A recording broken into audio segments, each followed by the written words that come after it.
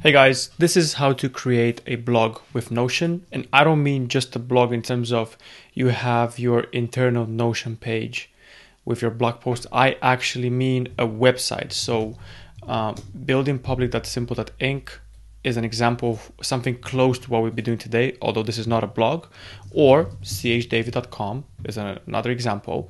This is uh, has a Notion page behind, and every time every letter that is changed on the Notion page is reflected on this very website. As you can see, it is a website or in here as well.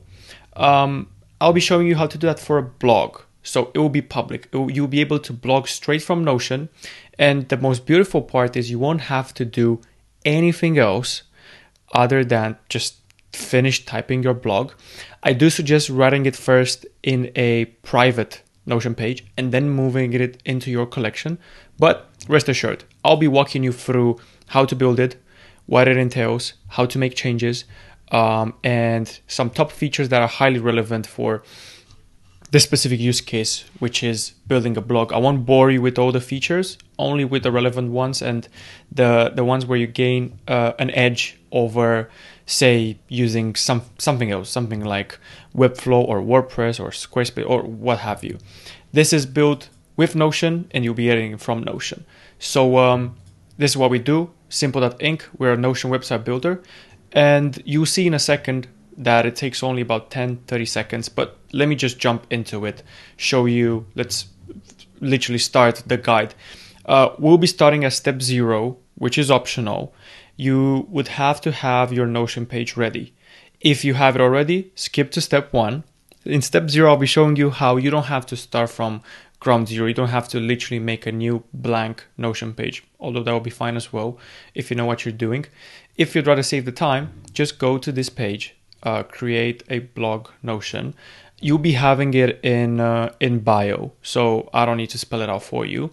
And if you just scroll down to a section called templates, or you can just click here on the sidebar, uh, Notion blog templates, you can start with a free template from us. Um, you just need to duplicate it. So I'll show you here in a second. So I'm just opening, I'm just picking this Notion blogging template from Red Gregory. They have a beautiful set of resources. They're an Notion ambassador and I really like what they do.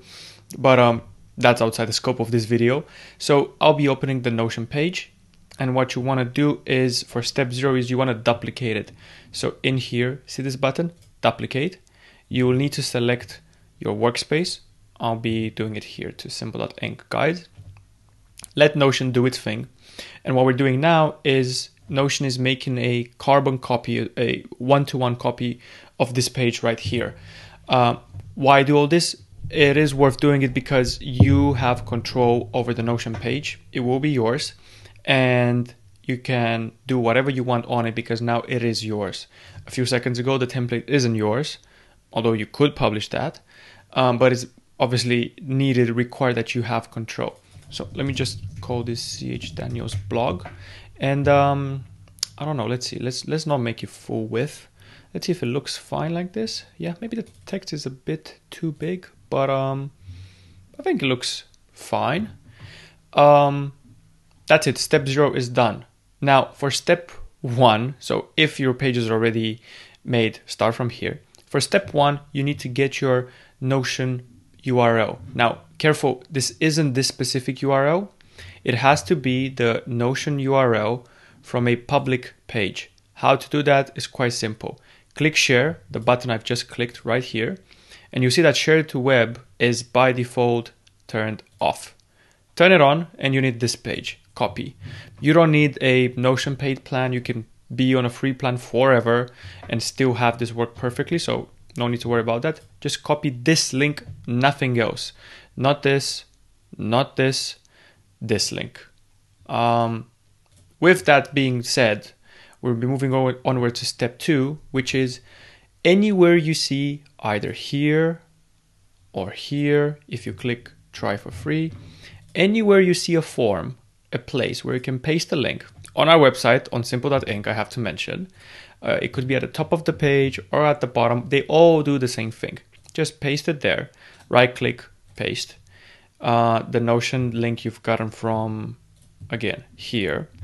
paste it there, and do click try creating a website or whatever the button might say. You see that at step one, you have already the field uh, filled in, field filled in. That's a tongue twister. And uh, at number two, where will your website be? Um, this is where you will select a .simple.ink subdomain. If you have a custom domain, you can add it later, but everybody starts on a free plan just for the sake of making it simple and what have you. I'll be choosing, um, actually, I won't be choosing anything because I want to show you as well in parallel that if you already have an account, such as I do, um, you have all your websites here. I mean, I have mine. The same process applies if you already have an account. So just for the sake of being having a, a very thorough guide, this is it. So I'll click add a new website, paste the link I've pasted um, initially in here. So it's the same process after you click that button. And now we were here. So let's see. Daniel's blog um, one, two, three. I want to leave you guys with a beautiful that symbol thing subdomain. So I won't be taking any subdomain. And that's it. You see this blue button right here. You click it, you wait a tiny bit, and that was it. As that happened, our website was being built in the background. Um, I'll be showing you, I'll be making a comparison now hint spoiler there's no difference but then i'll come back and have a look at the at what else you can do here. So let's see. This is the notion page and this is the notion website. As you can see it looks the same. It might need a tiny bit of time to get all the images and um, i don't know yeah it matters where these images are coming from. If you put them in notion they will surely appear here. If they're coming out of outside of Notion, we won't be able to take them. But I suppose that is reasonable since you'd be having it in Notion. So uh, by having outside of Notion, I mean putting in uh, an image from a link. You would have to paste it there, which I think most people do anyway. So probably this doesn't happen here because of that.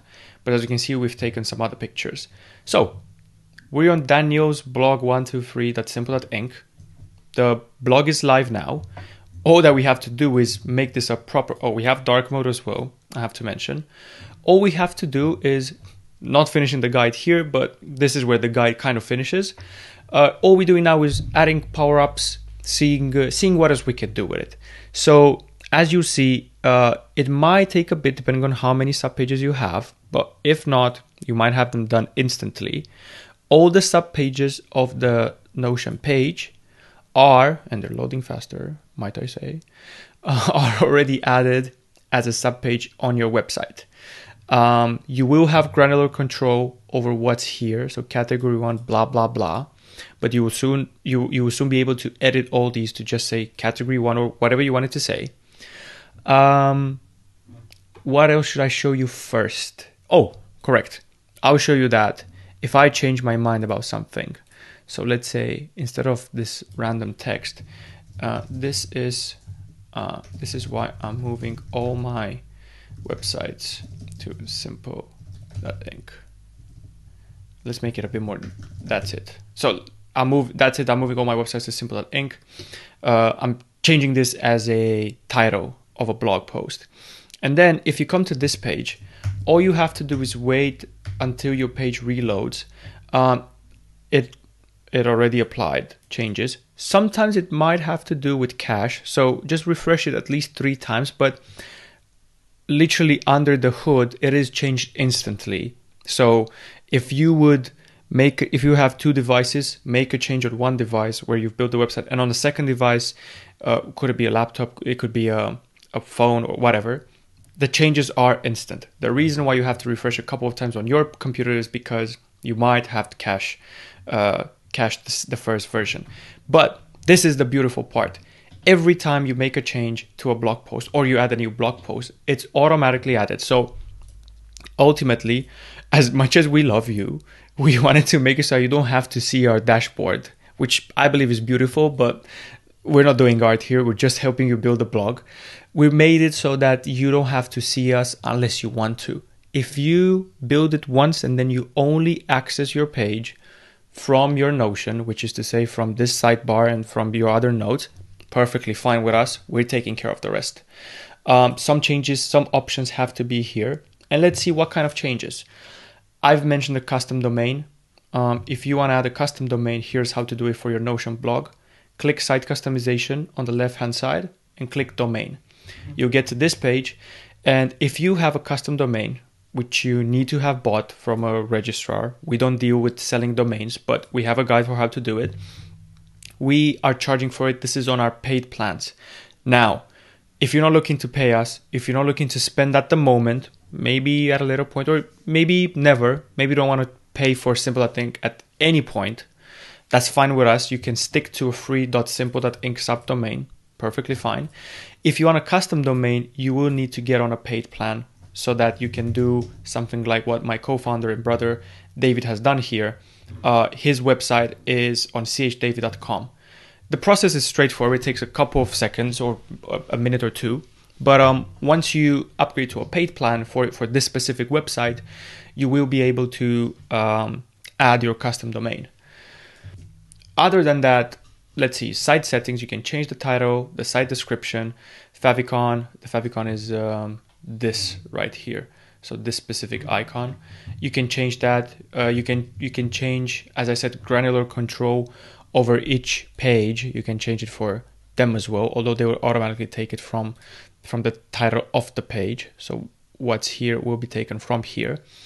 If in the future you will want to change the to go away from the Notion UI, from the Notion layout, we are soon adding it. By the time this video is out, we should have it out. Um, you, we will soon have themes, so you can change the aspect. You can uh, make it so that it doesn't look like Notion anymore, but rather it looks with a with a preferred layout. You will see before you install it, but uh, make sure you have a look at our website. Somewhere here in the Napa, we will have themes which are separate from templates. Templates are what we've used just now, which was um, where was it? Here, a template, a Notion page that we duplicated. But um, that's about it with themes. Um, I believe this is pretty much. Oh, one last thing. When we've made the on this page, okay, besides inviting you to a custom domain, which I've explained, go to Simple.ink settings, you can see integrations and power ups. So depending on what you want to add to your blog, we have this beautiful page right here with all the stuff and every each and every one of them has a guide. Um, we're adding videos so we can show with visual examples how to do it. Look, this is me here. Um, we're showing with visual examples how to install these things. These are power ups you can add to your Notion build website. Whether it's a blog or something else, you can add them. So analytics is an example, but of course you want, might want to add forms, you might want to add payments, live chat, uh, membership systems. We just call this power up so that these are ancillary things you could add. Uh, check our premier partner, Emojix. Um, anything. This is the page where you window shopping, quote unquote, for what else you can add as a as an add-on to your website. But I'll stop here for the moment. This is how to build a blog with Notion, public blog, instantly updated. Uh, we are hosting it, so you don't have to worry about. We don't have any limits on pages or on. I don't know. Check out our pricing page, but it's we pretty much want to make it as accessible as possible, so that you don't have to worry about stuff. We are saying we're calling this company Simple.ink, and the simple part means we're optimizing for zero headache for as as small of a headache as we can give you as possible. So as you've seen, I think we're putting our money where our mouth is with this process. Uh, we'll see how we're going to simplify this even further, but this is how to build your blog with Notion. Free, fast, with a generous free plan, optimized for SEO ready. Op- you, nothing stops you from getting top positions in Google in the search engine results page, and um, We'll be looking forward to seeing what else you would want or need out of this. Leave a comment below because I am monitoring the comment section and I jump every now and then to have a chat, answer a question, something like that. Or if I can help you, uh, make sure you use the live chat bubble right here. So in the lower right corner, you always see a live chat button. Uh, that's it for today. Let me know suggestions, questions, and uh, requests for some other stuff in the future. I'll leave you to it um, simple.ink. Build your website today. Call 99955. I'm joking. Nothing like that. Give us a try.